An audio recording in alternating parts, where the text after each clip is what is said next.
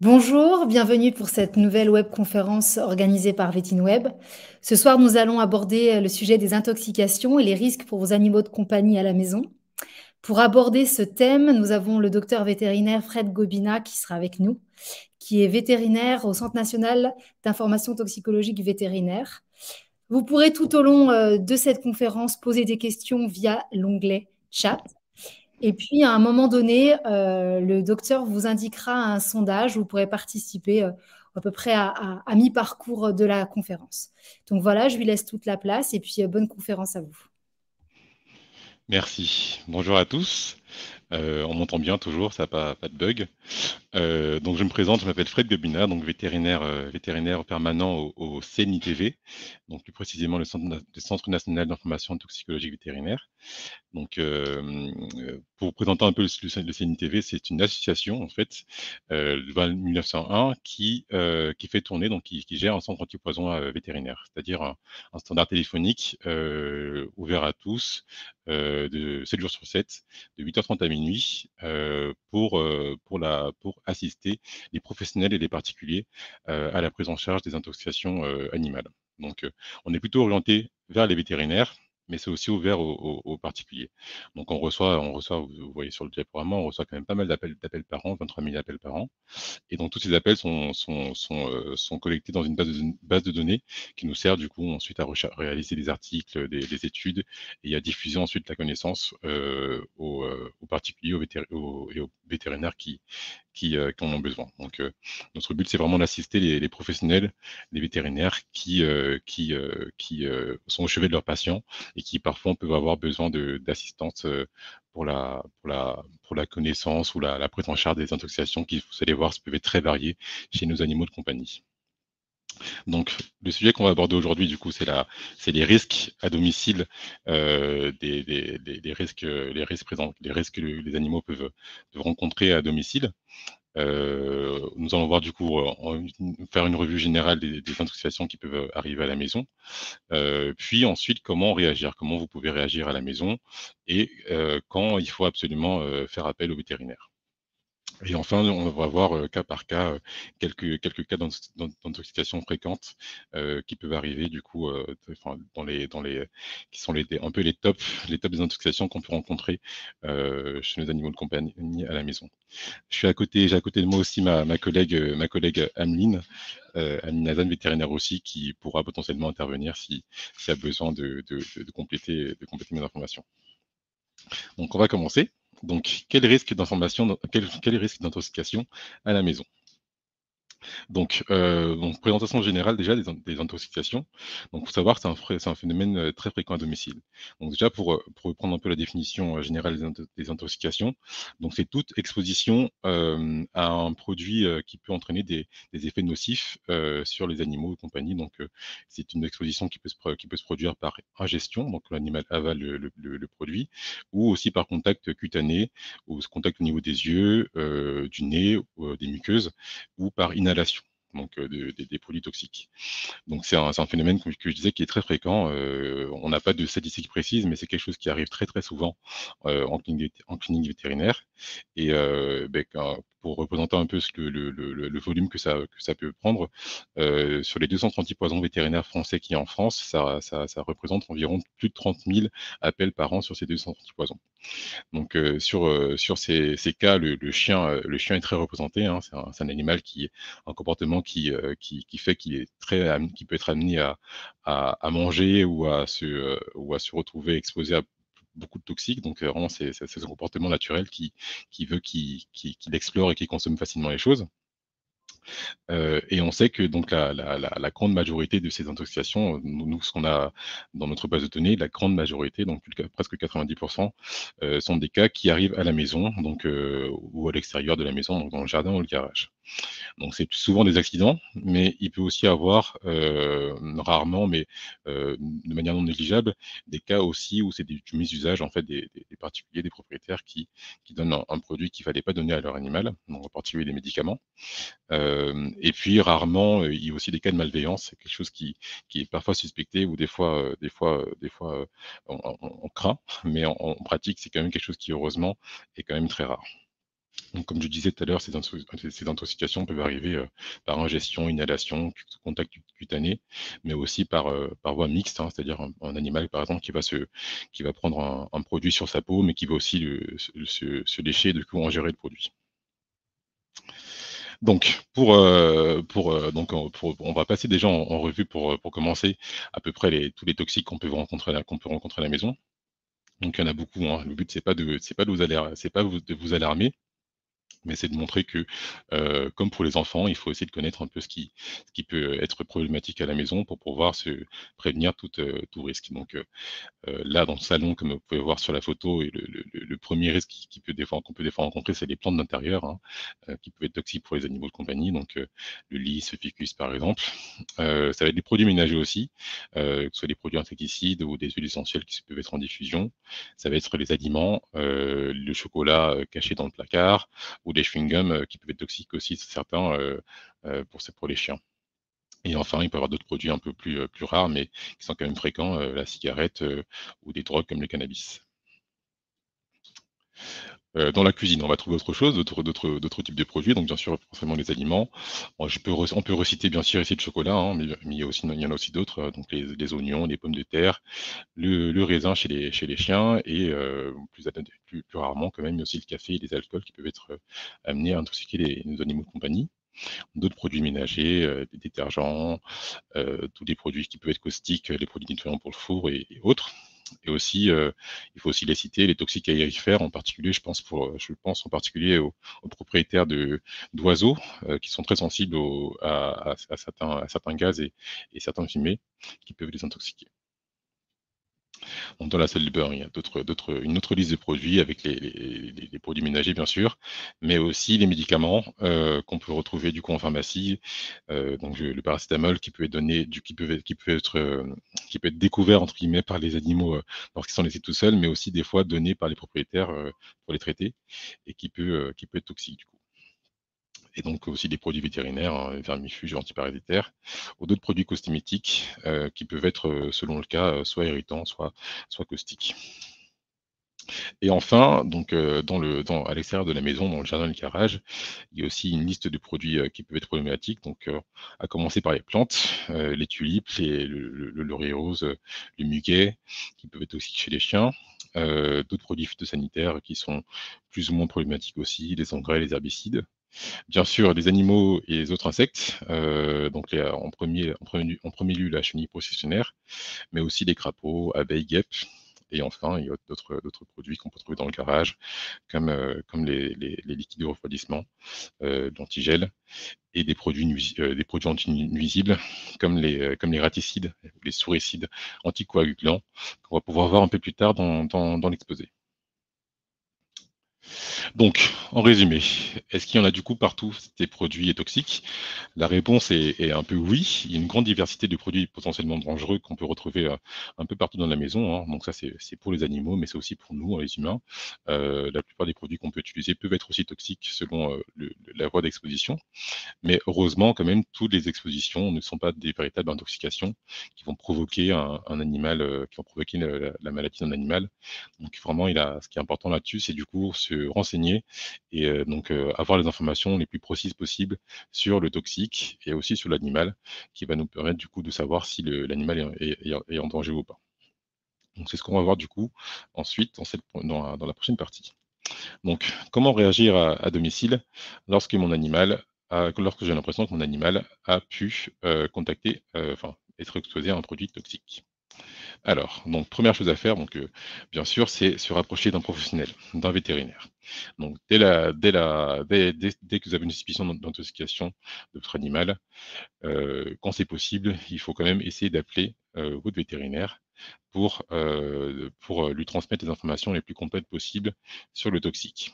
Donc, on va voir un peu les informations à donner, donner précisément après, mais ça va, bien sûr permettre de savoir s'il y a un vrai risque encouru par l'animal et, si, la, si une prise en charge est vraiment indiquée. Et donc, il faut quand même faire attention du coup euh, à Internet. Hein, je, le dis, hein, moi aussi, je suis, quelqu'un qui qui, peut facilement aussi aller se, renseigner sur Internet. Je, fais partie de la génération qui a grandi avec Internet, mais euh, il faut faire attention aux, sources qu'on peut retrouver dessus. Il y a beaucoup de sources contradictoires, beaucoup de, fausses informations. Donc malheureusement, la, première, la, meilleure chose à faire, c'est quand même toujours se rapprocher d'un professionnel qui pourra soit vous donner une réponse, donc votre vétérinaire qui pourra vous donner une réponse, ou potentiellement vous indiquer de nous appeler, nous, pour, pour savoir ce qu'il faut faire. Donc la première chose à faire, c'est toujours le vétérinaire, c'est le, le, votre référent. Et, si besoin, le vétérinaire pourra potentiellement vous, vous, transférer ou vous, réorienter, vers un centre anti-poison vétérinaire. Alors, donc, quelles informations donner lorsqu'on a une suspicion de toxique, donc d'intoxication, de, pardon. Donc, première chose à faire, du coup, c'est quand même du coup renseigner sur le toxique qu'on euh, suspecte. Donc, quand c'est un, médicament ou un produit, euh, un produit industriel, bien sûr le nom déposé, euh, si possible les substances, actives qui sont dans ce, produit, et donc bien sûr aussi la, quantité ou le volume que l'animal a pu, ingérer ou être en contact dessus, et donc si la, voie d'exposition. Ensuite, on va essayer de donner quand même du coup les informations sur, euh, l'animal, son âge, son, poids, sa race, et toutes les informations qui peuvent être, peuvent être sur, son, sur ses antécédents médicaux, qui pourraient du coup être affectés à la prise en charge. ensuite, on va, essayer de, donner l'information du, timing apparemment, le son est très bon. Il y a des personnes qui me disent que le son est haché et d'autres qui me disent que le son est très bon. Donc, euh, je ne sais pas. je vais essayer de parler le plus, euh, le plus fort possible. Euh, redites des, des petits messages si, si jamais le son ne marche pas.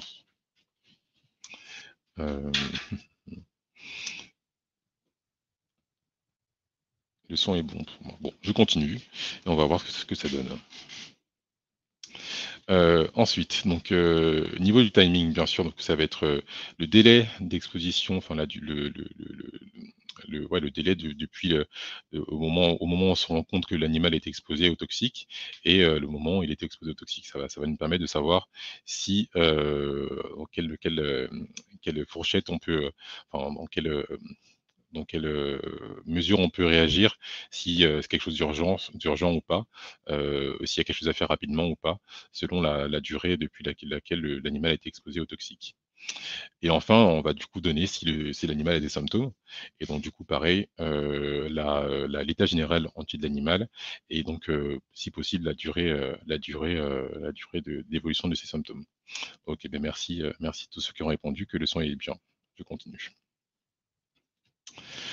Donc, euh, une fois qu'on a, transmis ces, informations, euh, ce qu'on va pouvoir faire, c'est euh, du coup essayer de, de, de soustraire l'animal à la source d'intoxication. Bon, bien sûr, ces, deux, étapes peuvent être un peu interverties. Hein. Si on voit que l'animal est en train de manger un produit toxique, on va, d'abord essayer de, de du produit toxique avant d'appeler le vétérinaire, bien sûr.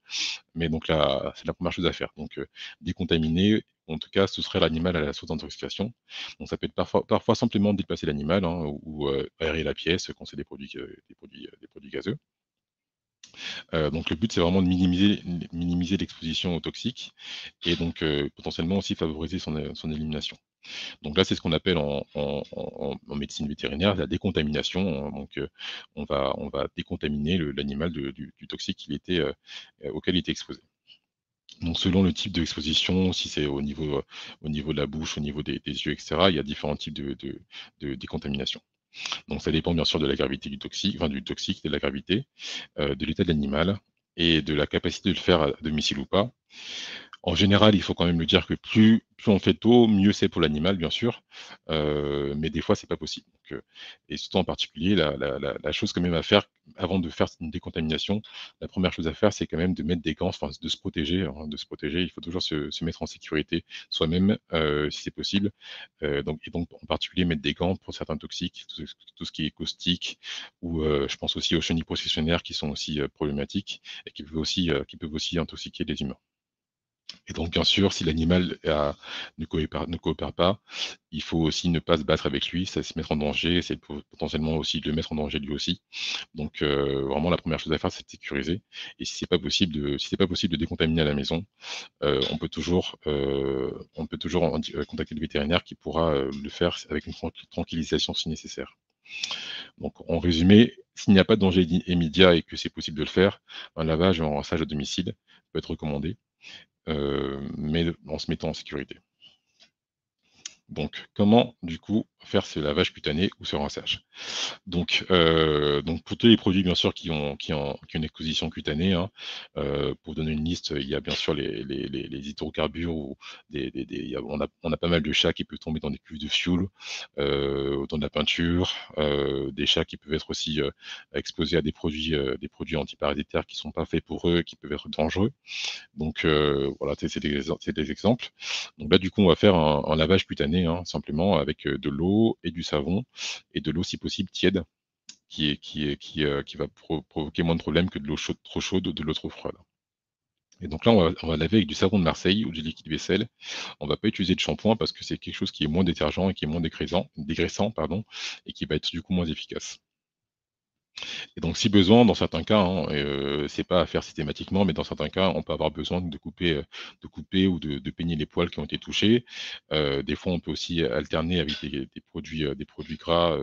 Là, je donne l'exemple du coudron, qui est un produit lipophile, c'est-à-dire qui va se dissoudre dans, dans, dans, les produits, dans les produits gras. là, on va alterner entre lavage avec du savon et application de produits gras, donc de, de, de l'huile d'olive ou de, margarine, en fait, qui va permettre de faciliter l'élimination du produit. Et dans certains cas, on va du coup répéter, ces lavages euh, pour être efficace. Et ce qu'il faut retenir ici, c'est qu'il ne faut pas utiliser de solvant. Donc, bien sûr, ça peut paraître évident comme ça, mais euh, c'est bien à, préciser quand même de jamais utiliser, de solvant, car euh, la plupart du temps, quand même, ils sont beaucoup plus toxiques que ce qu'on veut enlever. D'accord? Donc, par exemple, le white spirit à ne pas utiliser sur la peau ou autre part sur, sur nos animaux. Donc, dans les autres méthodes de, décontamination, il y a bien sûr le rinçage, hein, qu'on va utiliser du coup pour. donc, on va juste, juste utiliser de l'eau pour enlever les toxiques au niveau des yeux ou de la cavité buccale. Donc là, il ne faut pas hésiter à être, à, être, à insister hein, pour des produits qui peuvent être irritants ou caustiques, par exemple pour la, pour la décontamination oculaire. donc si possible, on essaie de rincer avec du sérum physiologique pour les yeux. Quand c'est pas possible, on va essayer de rincer simplement avec de l'eau claire pour, pour enlever le toxique le plus possible. Et donc, pareil, même chose pour la décontamination buccale pour un animal qui a, qui a pas ingéré un produit, qu'il a juste mis dans la bouche. Donc là, je, donne des, exemples, les, crapauds toxiques, les, caustiques ou les solvants. On va rincer la gueule de l'animal en essayant de faire en sorte que l'animal n'avale pas euh, l'eau qu'on, avec laquelle on rince. Donc, si possible, dans le jardin, dans la douche, euh, quoi que ce soit, voilà, pour, pour vraiment, euh, pour vraiment éliminer le, produit et qu'il s'évacue, qu'il s'évacue vers l'extérieur.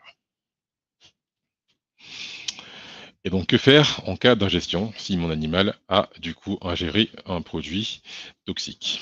Donc, bien sûr, le, premier réflexe qu'on a, hein, euh, euh, en, tant qu'humain, c'est de, de, faire vomir l'animal. Euh, malheureusement, ce n'est pas possible pour tous les animaux et c'est pas possible pour tous les toxiques. Donc, il y a quand même plusieurs critères à prendre en compte avant d'induire des vomissements. Premièrement, l'espèce. L'induction de vomissement aujourd'hui, enfin, est, pas possible chez toutes les espèces. On sait que c'est possible médicalement chez le chien, le chat et le furet. Et donc, contrairement aux humains, les chiens et les chats n'ont pas ce réflexe, euh, euh, ce réflexe de, de, vomissement lorsqu'on touche la, le, pharynx, euh, le vol du palais au fond de la bouche. Donc, c'est quelque chose qui ne peut pas être fait, qui peut pas être fait chez, chez, les, chiens et chats. Donc, ça ne sert pas à grand chose d'essayer à part, à, part, à part le risque de se faire mordre par, par l'animal.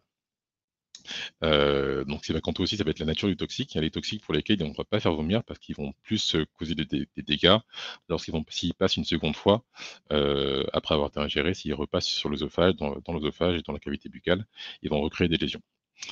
Euh, la dose ingérée, bien sûr, est à prendre en compte. Hein. Des fois, il y a des doses qui ne sont pas utiles de faire vomir, par exemple, euh, parce qu'ils vont, ils vont être, euh, bien sûr, qu'en ingérant un, produit en faible quantité, par exemple, ça va être dilué avec la salive, avec des, choses comme ça, enfin, avec toutes les sécrétions qu'il y a dans la cavité buccale et dans le tube digestif, et les vomissements ne vont pas, vont pas réussir à les éliminer.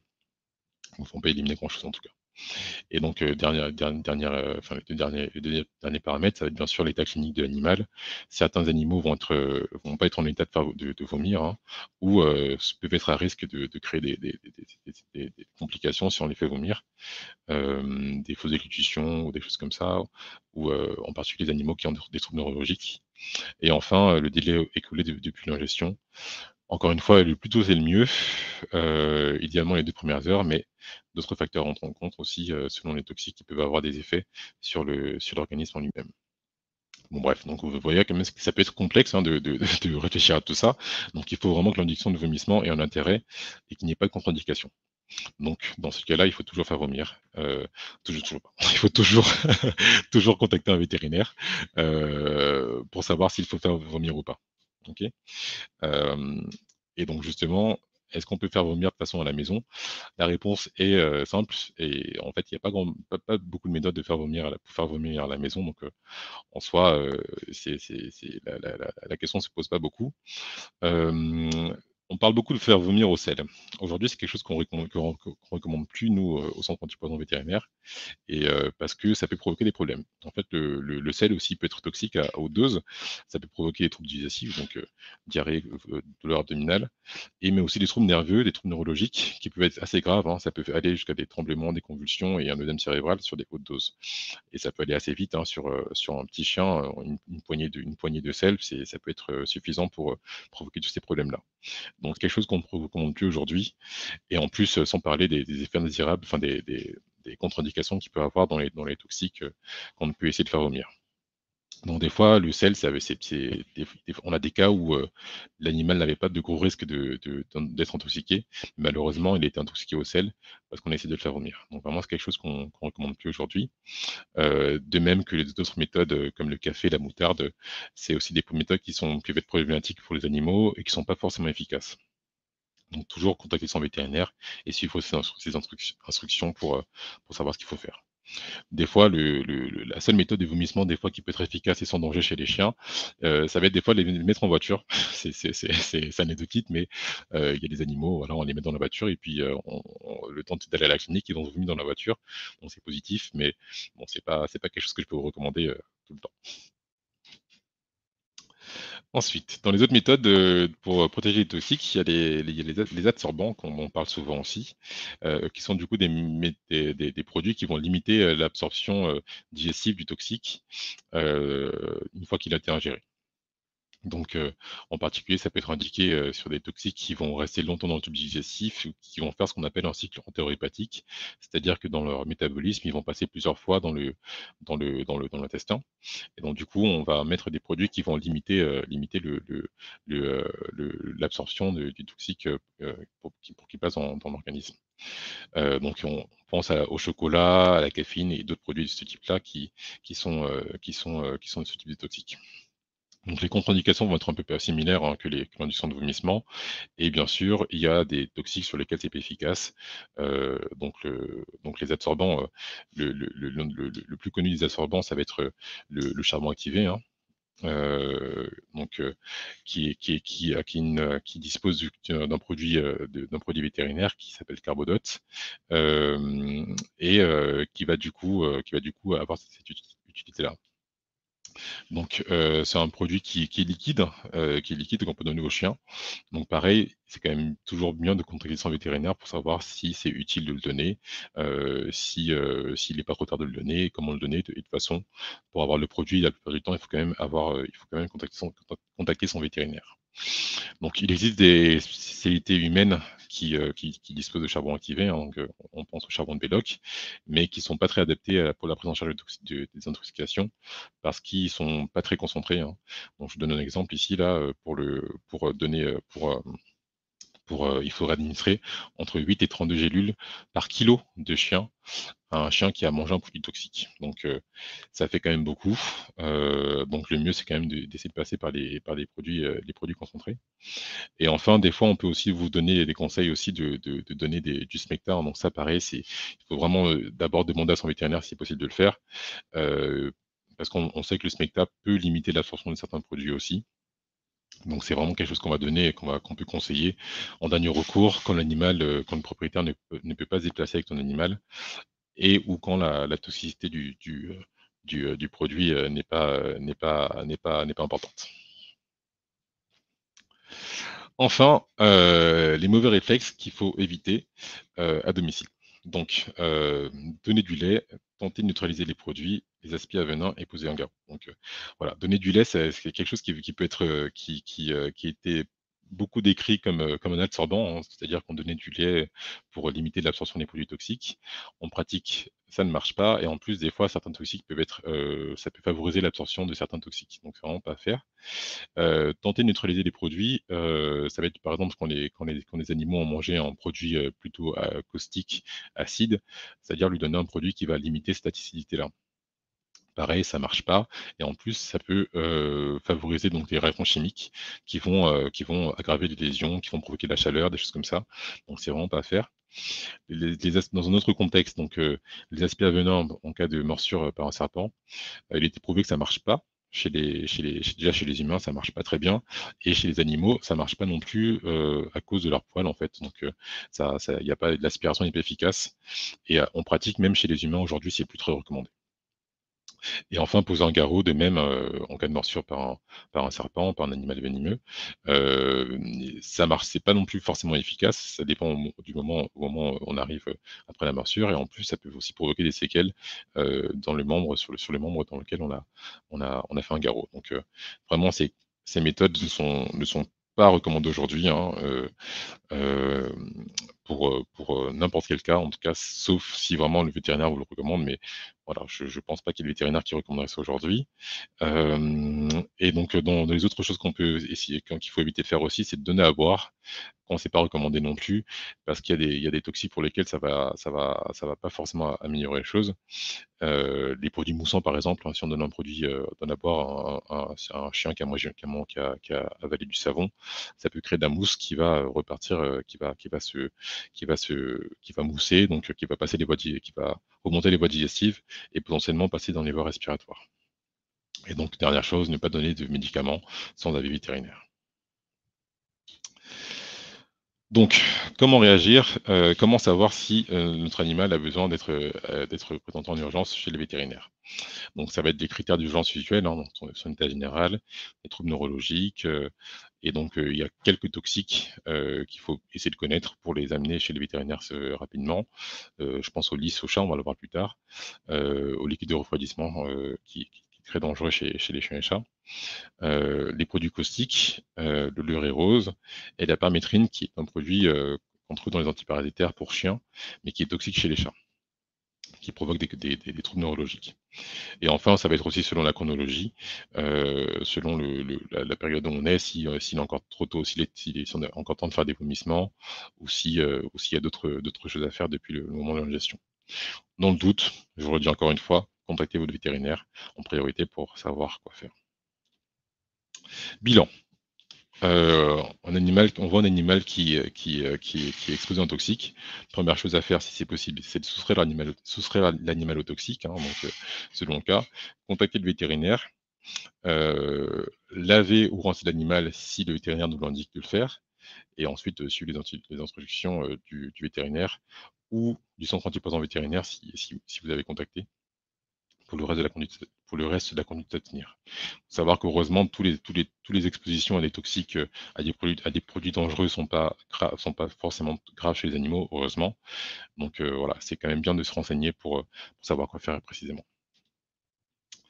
Voilà, si vous avez des questions, je vous laisse les mettre sur le chat. Pour l'instant, on va, on, va, on va commencer à avancer. Mais, mais si vous avez des questions, je, je, on va déjà faire une petite pause pour voir si, si je peux répondre à vos questions maintenant. Ah, ça tape, ça tape. La salade n'est pas spécialement toxique chez les, carnivores domestiques. C'est pas digestible non plus, hein, c'est pas quelque chose qui, va, vont forcément très bien digérer, mais c'est pas toxique. Les noix, ça dépend desquelles, c'est un peu, particulier. Euh, donc j'ai de répondre à la fin parce que du coup c'est un peu plus, particulier. comment laver un ah, c'est pas forcément facile. ils peuvent avaler toujours un tout petit peu. Euh, c'est pour ça que je vous je conseille que ça peut être, euh, ça peut être intéressant de, d'aller dans, dans, une douche ou aussi dans un jardin avec un, avec un jet d'eau. Il faut essayer d'ouvrir la gueule de l'animal. Il faut essayer bien d'être deux. Une personne qui ouvre la gueule de l'animal et l'autre personne qui rince sur le côté euh, pour, ça avale, pour qu'il avale pas beaucoup. C'est pas facile. ça, je, je le conçois. Ah oui. Malheureusement, c'est difficile. Euh, on ne peut pas faire grand-chose euh, à domicile. La première chose à faire, c'est déjà vous protéger vous, parce que euh, ils vous mettent des gants pour pour pour pas que vous soyez exposé au, au, toxiques vous aussi. Ensuite, malheureusement, il n'y a pas grand-chose à faire avant que le vétérinaire arrive, hein, parce que on peut essayer de rincer la bouche avec de l'eau claire, mais pareil, en fait, le, si l'animal a mal, ça va être difficile de le manipuler. Donc euh, c'est pas forcément très très indiqué. Et de toute façon, si le vétérinaire vous dit que, enfin si, on va dire si vous exposez le, cas, les vétérinaires vont essayer de se déplacer le, plus le plus rapidement possible. Mais c'est vrai que c'est c'est pas forcément facile à, gérer à la maison. On va avancer pour l'instant. je vais essayer de reprendre les questions plus tard si on a le temps, mais du coup, on peut se des questions qu'on va, va revoir dans le, dans, le reste du, dans le reste de la présentation. Donc, je vous laisse patienter, on va avancer un tout petit peu. Alors, donc du coup, on va voir quelques exemples à connaître euh, de toxiques, euh, donc cinq exemples de toxiques qui sont euh, qui peuvent être graves chez les chez, nos carnivores domestiques, chez nos chiens et chats. On va commencer du coup par le chocolat, un toxique qui est, bien connu, puisque c'est le toxique le plus le, pour lequel on reçoit le plus d'appels au CNTV en comptant tous les appels de, qu'on a reçus depuis le début, depuis l'ouverture de, la ligne. Donc il y a un toxique qui qui, est bien connu. Il y a aussi des fois des, informations contradictoires dessus. Donc, je vous ai préparé un petit quiz euh, auquel vous pouvez du coup tous jouer. Bon, il n'y a gagner, mais en tout cas, ça peut permettre de savoir si vos connaissances sur le chocolat sont, assez à jour. Donc, euh, il faut aller sur l'onglet sondage qui, euh, qui est juste à côté du, chat. alors, du coup, ah, euh, on va commencer, donc il y a les questions sont du coup dans, un ordre. On va commencer par la question qui est tout en bas. Donc, quelle est la molécule principalement responsable de l'intoxication au chocolat? Et je vous laisse du coup répondre. Donc, la caféine, la chocolatine, la théobromine ou la, cocaïne, la cocaïne. Pardon.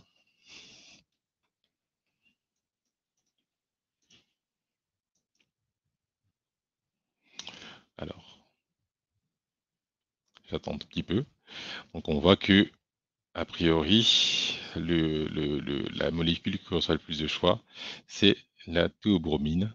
En deuxième lieu, c'est la chocolatine. En, troisième, la caféine. Et en dernier, la cocaïne. En tout cas, la déduction était bonne. Il n'y a pas de cocaïne dans le chocolat, hein, donc euh, il n'y a, pas à la cocaïne euh, le chocolat ne provoque pas d'oxyde à la cocaïne. Euh, la caféine, il y en a un peu dans le chocolat, mais c'est pas la molécule qui va, qui va provoquer le plus, qui, qui, est présente en plus grande quantité. La chocolatine, ce n'est pas une molécule qui existe. C'est une petite blague pour nos, pour nos amis du sud-ouest. Et, euh, et, donc, du coup, la théobromine, euh, qui est la molécule donc, qui, qui va provoquer l'intoxication au chocolat. Deuxième question. Quel type de trouble peut créer une intoxication au chocolat? Donc là, il y a plusieurs choix possibles. Là, c'est la, question qui est tout en haut de votre euh, onglet sondage. Euh, quel type de trouble peut créer une, intoxication au chocolat?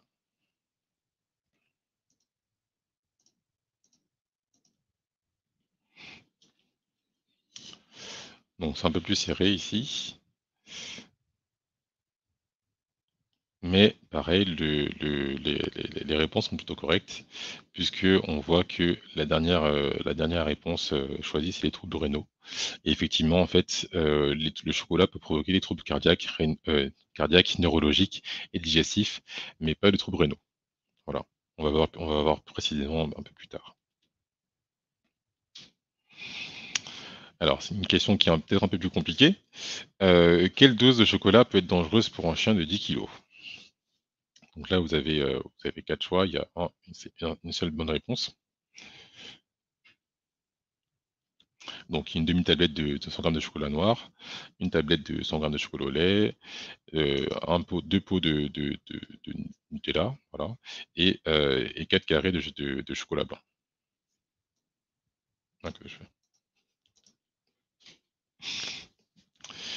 Et donc, du coup, plutôt de bonne réponse aussi ça va être le chocolat noir à 80%, qui bien sûr le plus concentré en, substance, active, en théobromine, et qui va être toxique assez rapidement en fait finalement. Pour un chien de 10 kg, ça peut être toxique à partir de 30-40 grammes. Donc euh, là on est, on est dans cette dose-là. Et enfin, dernière question. Parmi ces traitements, lesquels peuvent être utiles pour un chien qui vient de manger une dose dangereuse, de chocolat? Je vais y arriver. Donc, le sel, le charbon activé, le rinçage de la cavité buccale ou du lait.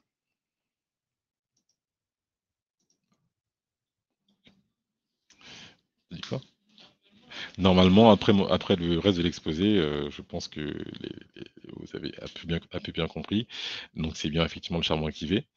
Le rinçage de la cavité buccale ne va pas forcément servir ici, puisque c'est pas quelque chose qui, va, rester dans, la bouche. Après, c'est pas non plus euh, contre-indiqué, mais ce qui va vraiment être utile, ça va être le charbon activé si, l'animal a ingéré le chocolat. Ok, on avance. Alors, donc, euh, le chocolat. Donc, c'est, comme je disais, c'est le grand champion des intoxications. Hein. C'est la, cause numéro un des, appels reçus au CineTV, qui, va, qui vont varier un peu selon les périodes, euh, bien sûr, mais qui c'est quand même reste, assez euh, fréquent durant toute l'année.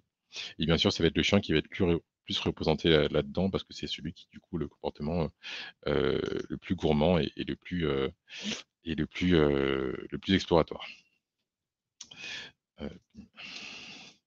Donc, euh, comme je le disais, donc c'est les, molécules qu'on appelle, qui font partie de la famille des méthylxanthines qui sont dans le chocolat, donc la théobromine et en, plus faible quantité la caféine, qui vont provoquer la, toxicité.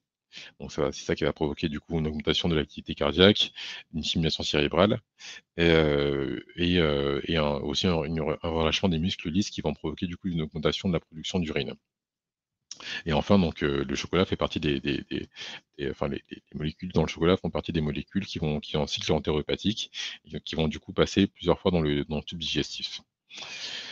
Enfin, il peut avoir aussi des, des, on va dire des, troubles provoqués par les autres, les autres composants du chocolat, hein, donc le, sucre euh, et les matières grasses qui peuvent avoir dans le chocolat, qui peuvent entraîner aussi un peu de soif et des, troubles digestifs associés. Donc, je vous donne ici un, petit, tableau qui, montre euh, la, variété euh, de doses toxiques euh, de chocolat en fonction du, type de chocolat qu'on qu'on a. Donc, on peut voir ici pour un champ de 10 kg pour du chocolat noir fort, c'est à partir de 30 grammes. Mais pour, un, pour un produit comme du, Nutella qui est finalement très très très faible en, cacao, et ça, la, dose aussi qui est, largement supérieure du coup à 30 grammes, et le, chien peut allègrement manger deux pots de Nutella sans, avoir des problèmes. Il, il peut avoir des troubles digestifs à cause, de la, à cause du, gras et du, sucre qu'il y a, dans le, qu'il dans, le, chocolat, ou des troubles aussi des fois métaboliques. Mais en tout cas, il n'y aura pas de vraie intoxication euh, due au chocolat ou au cacao. Ah. Pour les, pour les doses, donc, euh, on n'a on pas de dose précise chez les chats. C'est, euh, euh, on extrapole, donc on, on, prend les doses qu'il y a chez, chez le chien. On, on sait qu'en théorie, le chat serait potentiellement un peu plus sensible que, que, que le, que le chien. Donc voilà, on, peut, on, prend, on prend les doses qu'on peut avoir chez les, chez, les, chez, les, chez les chiens. On est un peu plus précautionneux. Mais finalement, en pratique, c'est quand même le chien qui va, qui va, qui va s'intoxiquer largement en grande, en en grande, en grande, en, grande, majorité avec le chocolat. Du coup, les signes cliniques attendus pour une intoxication au chocolat donc, peuvent apparaître assez, assez tardivement. Ils apparaissent jusqu'à, peuvent apparaître jusqu'à 12 heures. Donc, ils, sont, ils vont commencer par, souvent par les troubles digestifs. Et ils peuvent aussi être associés à des troubles neurologiques, donc surtout une agitation qui, qui, peut être, euh, apparaître euh, assez rapidement.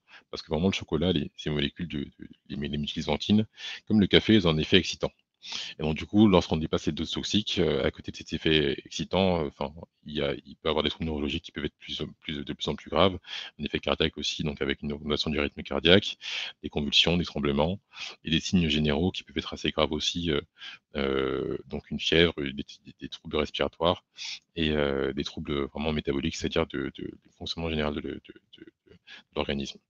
Ça peut, être malheureusement être une, intoxication qui peut être grave hein, chez, les chiens, hein, euh, surtout en particulier chez les chiens qui, peuvent avoir un antécédent cardiaque.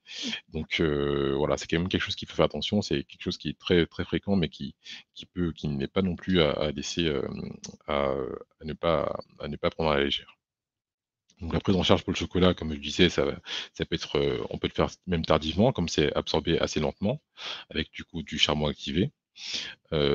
Si l'animal en a besoin, il peut être, du coup, ensuite avoir des, traitements qui vont alléger, ses symptômes, donc des pansements digestifs. Si besoin, il peut être hospitalisé pour mettre en place une perfusion, des, traitements pour limiter les, tremblements et des choses comme ça, et des, traitements pour limiter aussi les troubles cardiovasculaires. Le pronostic, heureusement, il peut être très bon hein, si c'est pris en charge correctement et rapidement. Mais comme je disais, effets graves, des effets, des effets graves peuvent, arriver et, même des effets mortels euh, chez, les chiens euh, qui sont peut être petits ou qui ont des, des troubles cardiaques déjà sous-jacents.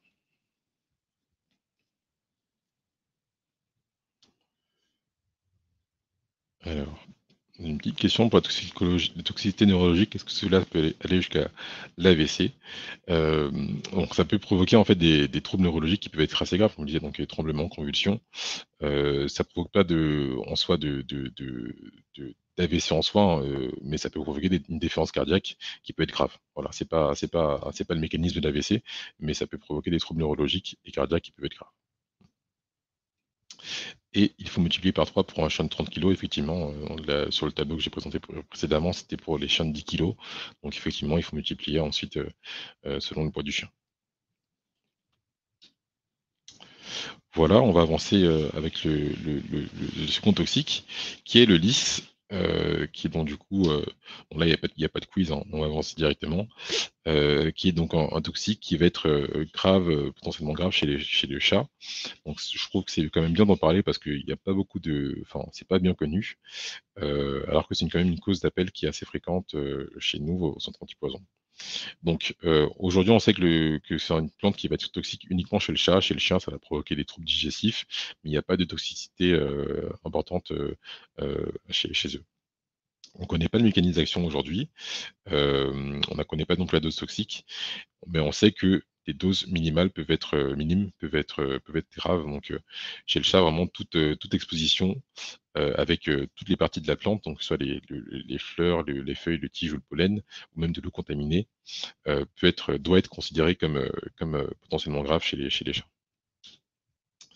Donc, dans les troubles digestifs qui sont attendus, donc on, euh, troubles, pardon, troubles toxiques qui sont attendus, on va d'abord attendre des, troubles digestifs. Hein. ça, c'est quelque chose qui va arriver assez vite hein, par, euh, par maldigestion en fait de la, plante, donc salivation, vomissement, anorexie. Et donc, euh, les, les, dans, les, dans les jours suivants, pardon, on peut aussi avoir du coup des troubles rénaux qui se manifestent euh, souvent par des troubles généraux, donc euh, de l'abattement euh, et donc du coup de, la déshydratation. Et donc du coup aux examens, aux examens vétérinaires, on, voit du coup des, une augmentation des paramètres du rein qui sont l'urée et la créatinine. Et donc ça peut être associé à d'autres troubles qui sont plus rares, des troubles neurologiques ou des troubles pancréatiques. Donc, la prise en charge chez le lys, ça va être d'abord essayer d'éliminer, euh, si possible, le, contact. Hein. donc, euh, euh, si le chat est, recouvert de pollen, il faut le laver. Et s'il en a ingéré, il faut essayer de faire vomir le chat. Donc, c'est quelque chose qui n'est pas facile chez les, pas facile chez les chats. Il faut, bien sûr, là, ça se fait vraiment avec, le, traitement, un traitement vétérinaire. Et donc, si besoin, on peut du coup, enfin, si besoin, et puis en, complément, pardon, on va mettre du charbon végétal activé et de la paraffine. À côté de ça, on va du coup mettre en place euh, un traitement du coup pour limiter l'atteinte rénale.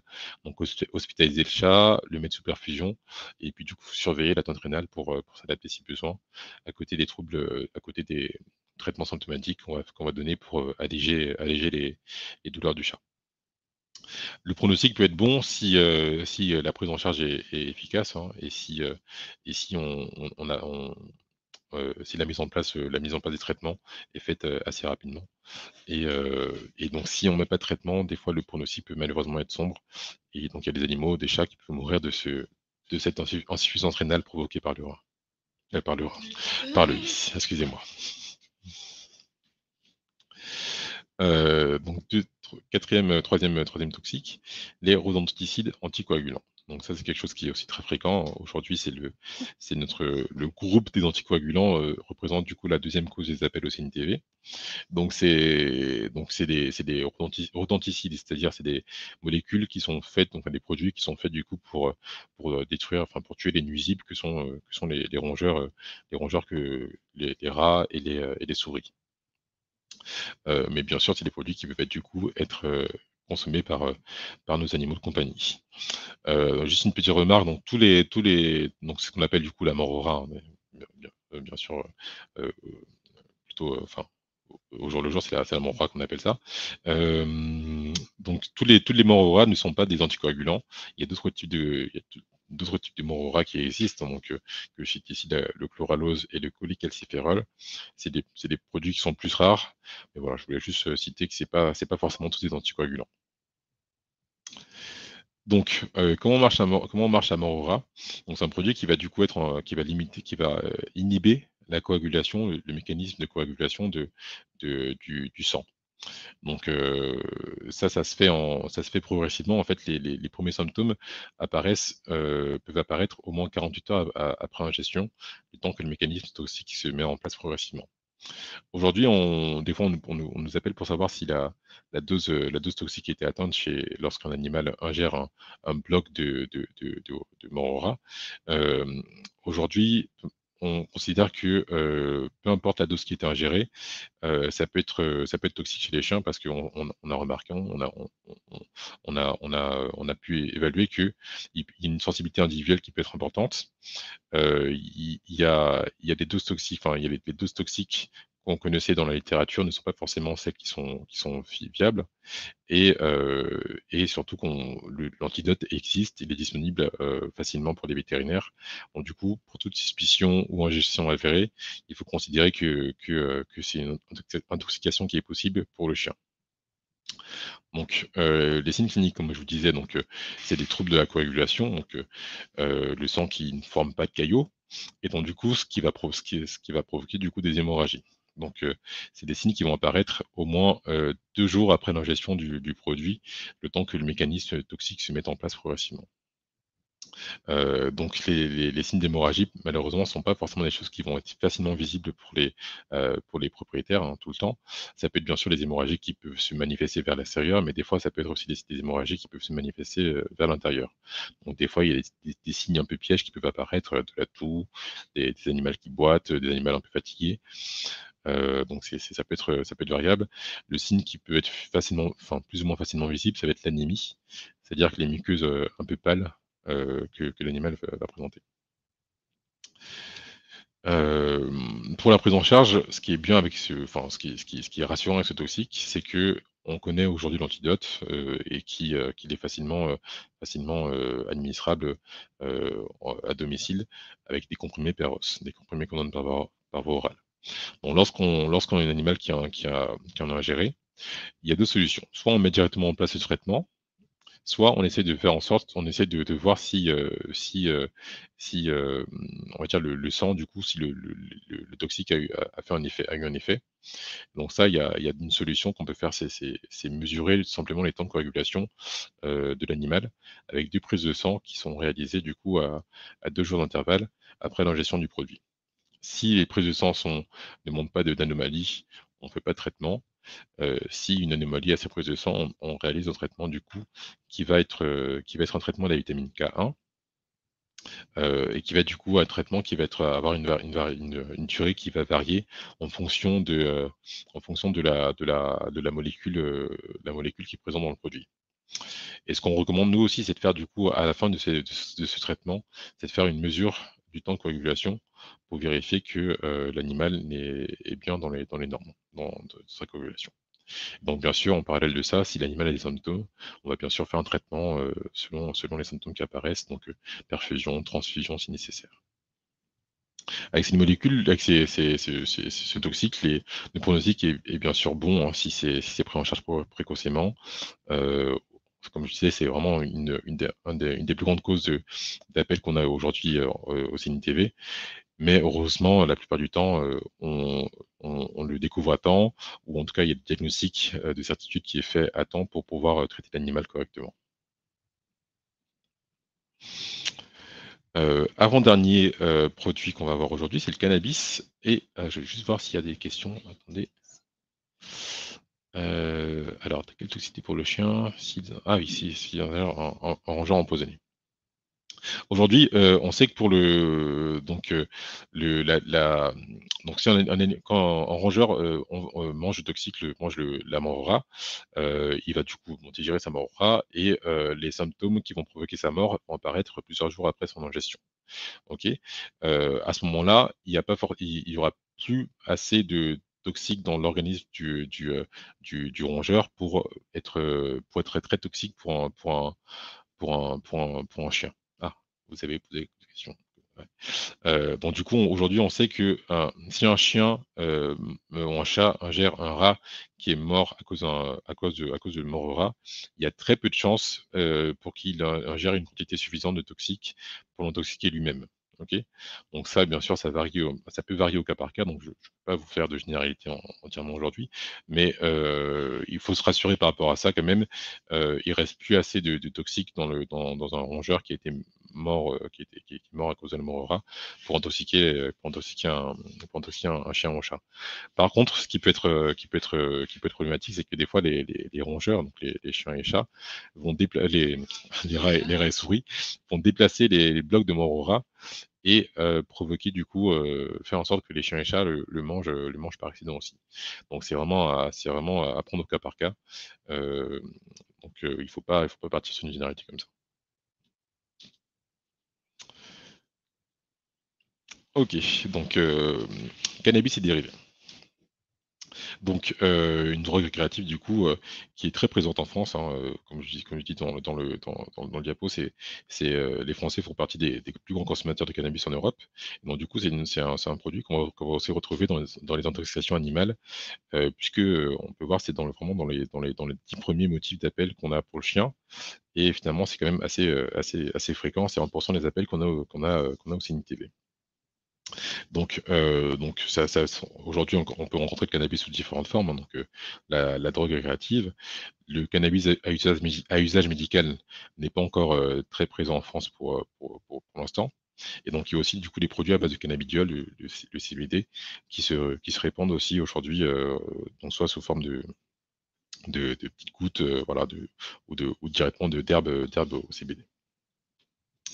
Donc, le mécanisme de ce produit, donc c'est des cannabinoïdes, donc excusez-moi. Donc les plus connus sont le THC et le CBD qui vont provoquer les effets. Donc ça surtout le THC hein, qui, euh, qui a un effet psychoactif, psychoactif qui va provoquer du coup les troubles, les troubles neurologiques rencontrés lors d'exposition. Donc l'intoxication va se faire surtout par ingestion, hein, ingestion de soit de de de joints, de de résine, voilà, de produits, heu, de produits, directement ou sinon d'herbes aussi, heu, d'herbes directement, qu'on peut retrouver à la maison ou des fois des produits qui sont transformés par les propriétaires. Donc le fameux space cake qui est un gâteau au chocolat ou avec, avec du cannabis. Et heu, donc c'est donc c'est une intoxication qui est très fréquente, mais qui heureusement, finalement assez, heu, assez, heu, on va dire, tolérée par les animaux.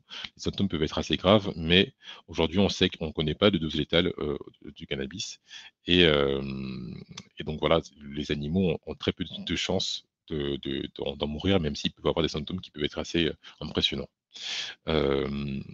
Et donc, heu, pour les produits au CBD, aujourd'hui, on sait que c'est des produits qui peuvent par même s'ils sont même sont être du CBD, donc qui n'ont pas beaucoup d'effets qui n'a pas beaucoup d'effets psychoactifs, il peut avoir un peu de THC dedans et donc lors de fortes lors de fortes surdosages ou d'accidents, heu, d'accidents de dosage, il peut avoir une potentielle intoxication au au THC.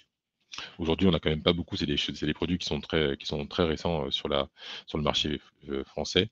Donc, heu, les effets rapportés sont des effets assez légers à modérés, hein, des troubles digestifs ou, des troubles, neurologiques transitoires, qui n'ont pas forcément beaucoup d'effets, sur les animaux.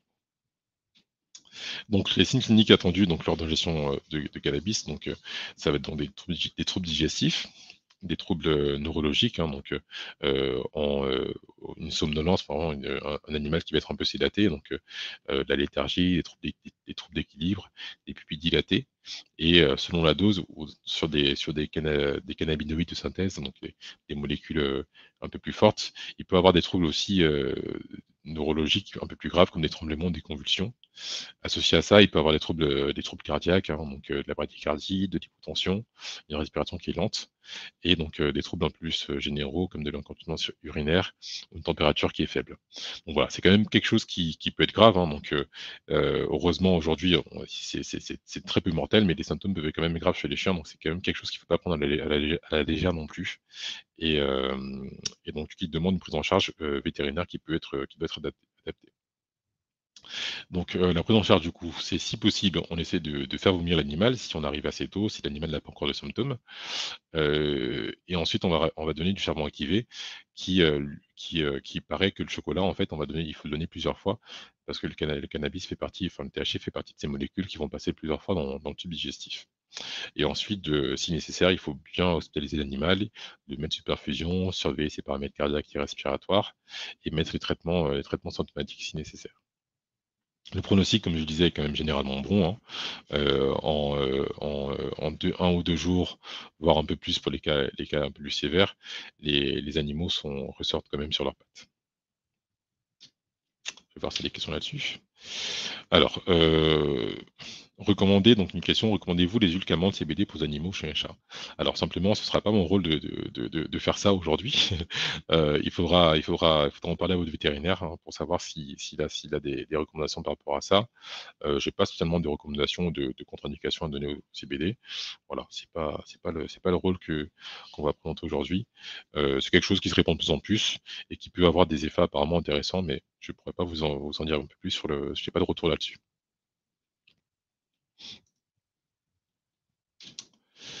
Euh, est-ce qu'il y a d'autres questions? Oui, le CBD existe en produit vétérinaire, donc euh, effectivement, donc il faut, il faut, il faut, se renseigner. Du coup, c'est des produits du coup euh, phytopharmaceutiques aujourd'hui, donc il faut vraiment se, renseigner avec vos vétérinaires pour savoir ce qu'il a en, là en, là en, stock ou s'il le recommande. aujourd'hui, je pourrais pas vous donner de recommandations vraiment par rapport à ça. Alors, ben, je vais garder cette question pour la fin. Comme ça, on garde les réponses un peu sur les autres sujets à la fin. Enfin, du coup, le paracétamol, c'est un produit que, du coup, je voulais quand même qu'on voit aujourd'hui parce que c'est quelque chose qui est, très fréquent, euh, malheureusement aussi. Euh, donc, soit souvent accidentel, euh, soit aussi par automédication des propriétaires sur, sur, leur sur leurs animaux. donc, on peut le voir dans, dans, presque un quart des cas qu'on a au CIN TV. Donc ça part d'une bonne intention. Hein. Souvent, c'est pour, c'est pour, euh, c'est pour, on se dit que ça fait pas beaucoup de mal sur un animal qui, qui, peut avoir, qui peut être un peu fatigué ou avoir une boiterie. Mais malheureusement, c'est un produit qui peut être toxique chez les, chez les, chez les chiens et en particulier chez les chats. Dire pourquoi. Donc, euh, en conditions normales, euh, le paracétamol, c'est une molécule qui va être éliminée par le foie. Donc, euh, lors de surdosage du paracétamol, le foie va être un peu dépassé par ce, par ce surdosage et ça va entraîner du coup des lésions donc, sur le foie et aussi au niveau du, des globules rouges hein, du, sang.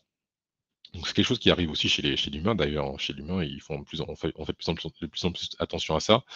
Euh, les surdosages de paracétamol peuvent être toxiques aussi chez, chez, chez, chez, nous, chez les humains. Mais chez les chats, ils ont une sensibilité encore plus, euh, plus accrue parce qu'ils ont un métabolisme, un métabolisme euh, du foie qui est particulier, qui va, qui va, qui va faire en sorte que, ce, que le, le, paracétamol devient toxique à des, à des doses très faibles. C'est-à-dire là, 10 mg kg, c'est-à-dire qu'un chat de un chat de 100 kg va être va être peut être malade avec euh, euh, enfin avec un, demi enfin enfin un dixième de comprimé de comprimé à 500 mg de paracétamol. Donc c'est vraiment pas beaucoup. Donc euh, il faut il il faut faire attention, il faut vraiment pas donner de paracétamol à des chats. Le chien est moins sensible euh, mais il y a aussi une dose toxique qui, euh, est, moins, qui, est plus faible que, chez l'humain. Et il peut avoir des, problèmes à, partir de 50 mg kg si on donne du paracétamol régulièrement à ces doses-là à un chien. Donc, dans les signes cliniques qui sont présentés, donc assez rapidement, il va avoir des troubles, troubles, des troubles digestifs. Euh, je vais garder les questions pour la fin, je continue. je continue. Il peut avoir des troubles, des troubles donc, digestifs et aussi des troubles euh, généraux euh, assez rapidement, donc dans les 24 heures après ingestion euh, de, de. Et donc ça peut se prolonger par des troubles qui apparaissent un peu plus tard au niveau du foie et au niveau du coup de, des globules rouges, donc l'hémolyse intravasculaire, c'est-à-dire c'est des globules rouges qui, qui, se, qui, sont, qui sont détruits. Et ça, ça va provoquer du coup anémie, ictère, c'est-à-dire une, jaunisse, hein, ce qu'on appelle jaunisse chez, l'humain. Et, et, donc, ça peut être associé à des troubles neurologiques ou rénaux. Euh, chez le chien, ça va être euh, à peu près la même chose. Hein. Donc là, c'est une photo de chat. Et euh, là, c'est plutôt les symptômes décrits chez les, chats. Mais chez les chiens, c'est à peu près similaire avec des, des, symptômes qui s'appellent du coup la méthémoglobinémie qui m'ont marqué. Donc la, méthémoglobinémie, c'est en fait c'est ce, qui va faire ces muqueuses qui ont un aspect un peu un peu bleu grisâtre qui apparaît assez rapidement chez le chat lorsqu'il a été intoxiqué. Et donc, du coup, comme je disais, en, plus de l'atteinte hépatique, sur des fortes doses, il peut y avoir des, troubles rénaux euh, chez les chiens comme chez les chats. Donc la prise en charge, la en charge chez, ces deux animaux est donc d'abord par un traitement éliminatoire. On essaie de faire vomir les animaux pour limiter l'absorption. Et du coup, pareil, on met du charbon activé. Et ensuite, si besoin, on va mettre des traitements spécifiques, euh, enfin, un traitement de soutien, pardon, euh, donc une perfusion et des mesures de, soutien de l'animal. Et, il existe aussi des traitements spécifiques qui vont limiter l'effet du paracétamol sur le foie, euh, sans forcément non plus être des traitements antidotiques. En tout cas, ça limite, ça, peut limiter l'effet du, paracétamol sur, le foie et le sang. On pense en particulier à ce qu'on appelle la N-acétylcystéine, qui est un traitement qu'on peut donner chez, ces animaux dans ces cas-là. Donc le pronostic est, peut, être, peut être bon, hein, pareil, hein, ça, va être, ça va dépendre un peu de la, dose ingérée et des signes qui sont présentés par l'animal. Le pronostic, il faut quand même être réservé sur, euh, sur, les, sur, les, sur les premiers jours et prudent sur, euh, prudent sur, les, sur les premières semaines, euh, les, les, une, deux semaines après l'ingestion, pour, pour voir que pour surveiller les, séquelles hépatiques et sanguines du, du chat ou du chien, Et donc, en conclusion, euh, donc les intoxications animales sont des, problèmes euh, qui sont très fréquemment rencontrés, avec des contextes très variés, et qui sont dus donc du coup au comportement euh, exploratoire naturel des animaux. Mais toutes les opérations ne sont pas toxiques, même s'il y en a quand même beaucoup. Et donc la première chose à faire, c'est de se renseigner si possible. Donc toujours se référer à son vétérinaire, traitant en premier lieu qui va nous indiquer euh, quand c'est possible de contaminer et si, euh, si c'est recommandé. Et donc, on va limiter toutes les recettes et antidotes de fortune qu'on peut trouver sur Internet, euh, qui peuvent être plus, problématiques qu'autre chose. Et donc, pour les intoxications fréquentes que, qu'on a citées après, je, mets, en face sur, attention à l'automédication, qui peut malheureusement provoquer plus de problèmes que, qu'en guérir. Et donc, bien sûr, il faut essayer de protéger tous les produits, euh, produits alimentaires, médicamenteux et produits ménagers, comme pour un enfant.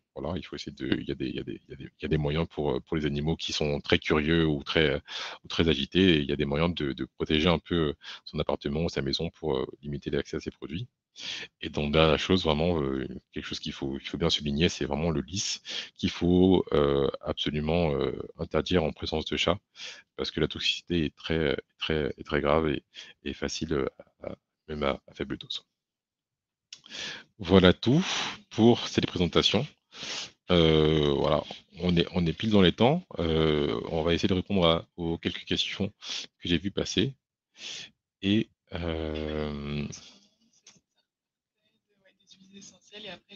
Ouais. Ok. Donc les huiles essentielles pour les chats, même en diffusion, peuvent être, peuvent être euh, peuvent les intoxiquer. Euh, oui, effectivement, euh, les chats sont très sensibles, sont sensibles aux huiles essentielles. Après, ça va dépendre bien sûr du type d'huile essentielle et, et de, de, la, de, la, dose. En diffusion, ça, je, en, fait, en diffusion, le, la chose qu'il faut faire, c'est faire en sorte que, la, pièce reste quand même aérée. Euh, parce que du coup, en diffusion, le, contact est moins fort. Hein, les, huiles essentielles sont aussi vraiment quand souvent il y a un contact cutané, quand, il y a un produit qui est déversé sur l'animal. En diffusion, il y a moins de problèmes, mais les animaux, ils sont quand même plus sensibles que nous au niveau nasal et respiratoire. Et donc, du coup, si on reste dans une pièce qui est enfermée, euh, qui, n'y a, pas d'aération, et on laisse un diffuseur d'huile essentielle pendant très longtemps avec un chat, il peut y avoir des problèmes. Donc, euh, effectivement, c'est quelque chose qui peut, être, qui peut être dangereux chez les chats, même en diffusion. Euh,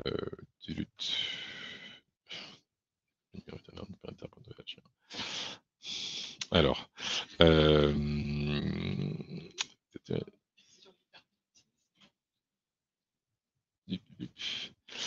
alors, tu vu une question sur l'ivermectine?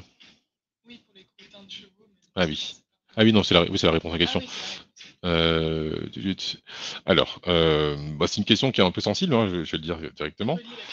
Euh, la question c'est est-ce qu'un médicament vétérinaire antiparasitaire peut intoxiquer un chien, le bravecto euh, La réponse est que malheureusement tous les médicaments peuvent être euh, un minimum dangereux chez, chez, n'importe quel utilisateur, même comme je disais, le paracétamol peut être dangereux chez les chiens, chez, les, chez les humains.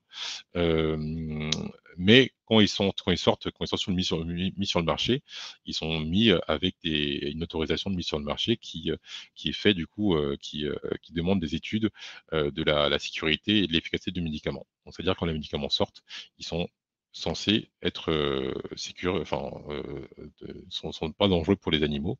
Et, et donc il y a avoir des effets indésirables, hein, bien sûr, comme tous les médicaments, mais ceux-là sont listés sur, euh, le, manuel, la notice d'utilisation des médicaments. Et sauf, euh, problème, il n'y a, pas plus d'effet que, ces médicaments-là. Donc, en particulier, du coup, il y a un système de, surveillance des médicaments qui s'appelle la, pharmacovigilance, qui existe chez les humains et chez les vétérinaires, qui vérifie l'efficacité et surtout aussi la sécurité des médicaments. Donc aujourd'hui, on sait que le Bravecto n'est pas plus dangereux qu'un autre produit vétérinaire utilisé en vermifuge ou en, antiparasitaire externe chez les chiens et chez les chats. Donc nous on travaille avec le service de pharmacovigilance, hein, le service qui surveille du coup les, effets indésirables chez les, médicaments. Libravecto a, a, une réputation euh, qui était un peu euh, euh, sulfureuse au début de son, lancement, mais aujourd'hui a priori il n'y a pas de, a pas de traces de, d'effets indésirables plus marqués que ce qui a noté sur la notice et sur, la notice d'utilisation du produit. Les carottes sont toxiques euh, Non, pas spécialement. Pas, pas chez les, carottes chez les chiens comme chez les chats. Euh, pourquoi la valériane excite chez les chats? Bonne question. Euh, on n'a pas forcément tous les mécanismes d'utilisation, enfin des mécanismes qui provoquent les, symptômes chez les animaux. Hein. On sait effectivement que la valériane est une plante qui, peut être un, peu excitante chez les chats, mais je ne pourrais pas vous donner d'explication sur ce mécanisme. Les noix sont-elles toxiques euh, Alors, donc les noix en elles-mêmes ne sont pas suffisamment toxiques chez les chiens. Ce qui va être problématique, ça va être les noix sur lesquelles se sont, développées euh, des moisissures. Voilà, c'est quelque chose qu'on a très souvent aussi, et même assez fréquemment en ce moment. C'est des en automne ou, en, la fin de l'hiver. C'est des noix sur lesquelles se sont développées des, moisissures en fait qui vont produire des, mycotoxines, ce qu'on appelle des mycotoxines, qui sont elles toxiques chez les, chez les, chez les chiens et qui vont provoquer des troubles digestifs et des troubles neurologiques. Donc voilà, les noix elles-mêmes, c'est pas pas, suffisamment toxique, ça peut provoquer euh, des troubles digestifs par irritation. Mais le problème, c'est ces, ces noix moisies que les chiens peuvent manger, euh, euh, peuvent manger et s'intoxiquer avec ça. Et donc, ça va provoquer des tremblements, surtout en fait, qui peuvent se, développer en convulsion. Et donc, c'est des mycotoxines, donc les, moisissures qui peuvent être aussi, qu'on peut retrouver dans d'autres types de produits, dans du compost ou d'autres produits sur lesquels les moisissures se sont développées.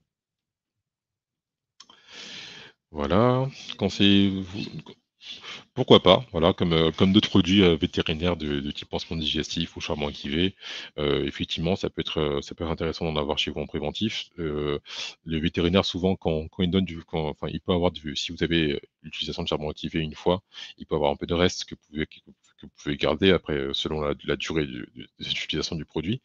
Euh, après, dans tous les cas, je vous recommanderais quand même de ne pas l'utiliser forcément sans, euh, sans, sans connaissance de, de, de cause, sans, savoir si c'est intéressant, utile de le mettre en place, donc du coup toujours avec un avis vétérinaire si c'est possible.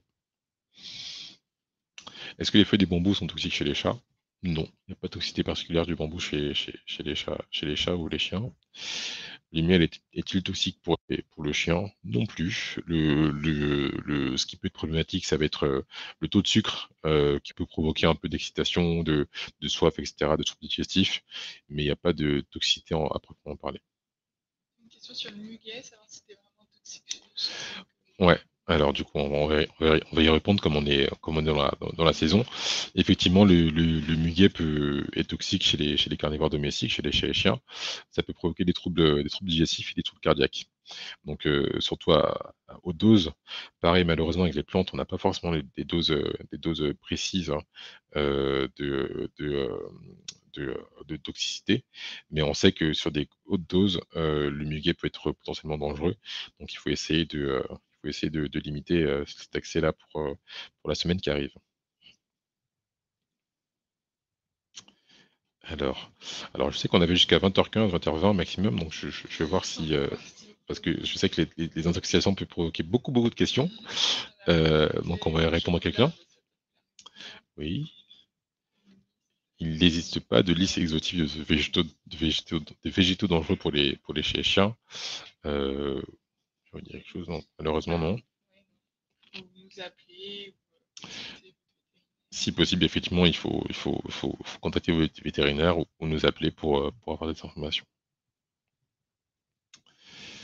Alors, donner des comprimés de levure quand on utilise le machin. Alors pareil, je, je pas, je, ça, dépend pourquoi, ça dépend euh, de la dose. Enfin, je ne vais pas m'engager sur une réponse là-dessus. Euh, la levure de bière n'est pas toxique chez, les, chats. Euh, le sélénium non plus à, faible dose.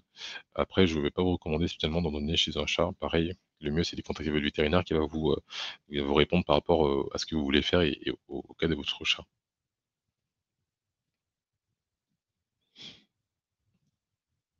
Alors les glands, euh, les glands, ça peut, voilà, aujourd'hui on sait que c'est ça peut, ça, provoque, surtout les troubles digestifs. Euh, c'est irritant, c'est astringent, donc ça va provoquer vomissements et diarrhée euh, plus ou moins profuses. il y a a priori potentiellement des, troubles, des troubles, enfin des cas rapportés de troubles cardiaques, pardon, de troubles rénaux ou hépatiques. donc à, éviter. Voilà, s'il en mange, euh, si, s'il en mange une ou deux de temps en temps, c'est pas très grave. Si, euh, si, s'il dévore un sachet, enfin sachet, hein, s'il dévore un tas de, de clans euh, tous les jours, ça peut être problématique. Surtout pour, enfin voilà, sur, au niveau digestif, sans que ça, ça fait des vomissements et des diarrhées qui peuvent être assez graves. Donc, à, à, faire attention. Ouais.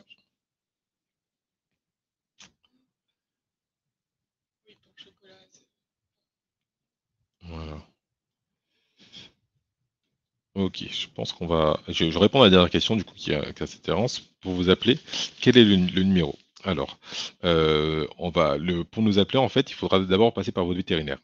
Euh, c'est vraiment notre, notre, notre démarche. On veut d'abord que le vétérinaire soit le référent, en fait, euh, le référent de vos cas, parce qu'il pourra vous répondre facilement par rapport à, l'animal, par rapport au cas que la question que vous voulez, que vous voulez avoir. Et malheureusement, nous, on n'a pas forcément les ressources, euh, on va dire, humaines pour répondre à tous les appels de France sur les, sur les, sur les toxiques. Donc vraiment, votre, votre référence, c'est d'abord le vétérinaire qui, heureusement, connaît quand même connaît la plupart des, des, des, cas de toxiques, d'intoxication, qui pourra du coup vous renseigner par rapport à lui, sa disponibilité, etc. Donc, toujours appeler vos vétérinaires en premier lieu, qui, si besoin, si euh, s'il n'a pas l'information ou si euh, voilà, s'il n'a pas forcément le, temps de, de, vous répondre ou euh, de vous faire des recherches, qui pourra vous, qui pourra vous, rediriger vers nous si besoin. Voilà. Ben, merci beaucoup. En tout cas, on voit que ça suscite beaucoup, beaucoup d'interrogations. En tout mm. cas, on, répondra aux questions par écrit. Peut-être que vous n'avez pas eu la réponse que vous attendiez oralement, mais il est déjà 20h15, donc on va conclure. Mais en tout cas, euh, vous recevrez prochainement dans votre boîte mail euh, les réponses aux questions. Vous allez aussi recevoir un lien avec le, le, replay. Dès la fin de la conférence, euh, vous recevrez le lien du replay. Et nous, la semaine prochaine, on vous enverra les réponses à toutes les questions qui auront été posées par écrit. En tout cas, merci beaucoup, docteur Gobina, et aussi euh, à, votre collègue qui a aussi accompagné. Merci à vous deux. C'était vraiment euh, beaucoup de recommandations précieuses. C'était vraiment complet, passionnant. Merci encore. Et puis, euh, on se retrouve pour, en tout cas, tous ceux qui suivent régulièrement nos, nos webconférences, on se retrouve fin juin pour un autre sujet sur la mobilité. Voilà, encore merci à tous. Bonne soirée. Et puis, euh, au revoir. Au revoir.